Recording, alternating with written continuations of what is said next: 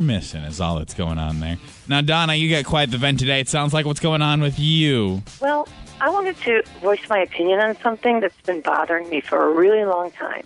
Okay. Um, I, I tried writing the newspaper and contacting uh, TV stations, but nobody seems to want to help me with this. So that's why I'm calling you guys.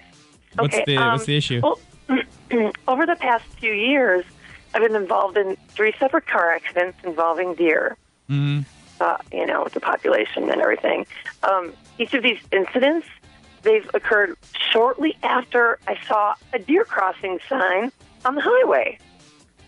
Well, my frustration is that Minnesota and North Dakota Departments of Transportation would allow these deer crossings to be in such high traffic areas. I mean, I've even seen them on the interstate. Why are we Mhm. encouraging deer to cross at the interstate? I don't get it. That's such a high traffic area.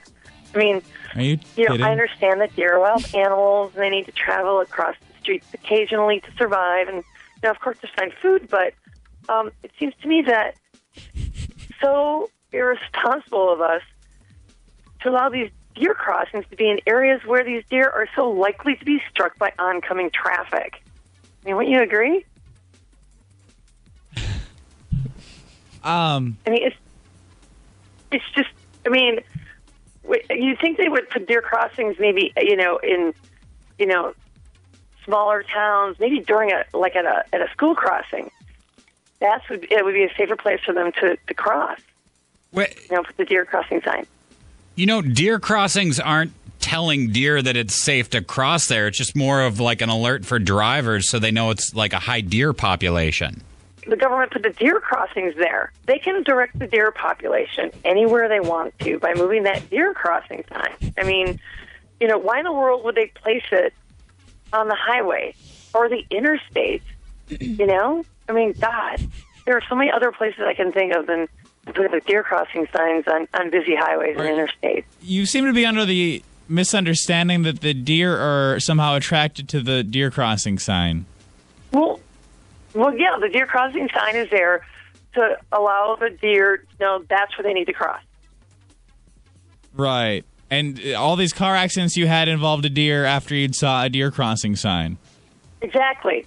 I, I mean, I, I, I mean, I'm trying to watch out for the deer, but I mean, I'm, you know, speed limit's 55, 65. How am I supposed to, you know, you can't brake really quick if you, you know, if the deer just is crossing in that deer crossing area. So you'd like to see these signs move somewhere safer? Right. If we, yeah, if we can move them, like, don't put deer crossing signs on the interstate or, or freeways.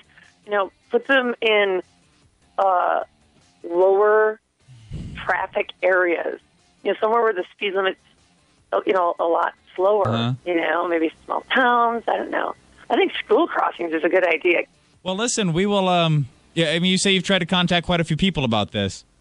Right. Yeah. I, I wrote- like at least three or four letters, and We Yeah, will try- spread the word. Okay. We will try to kind of help you raise some awareness for this issue. Okay.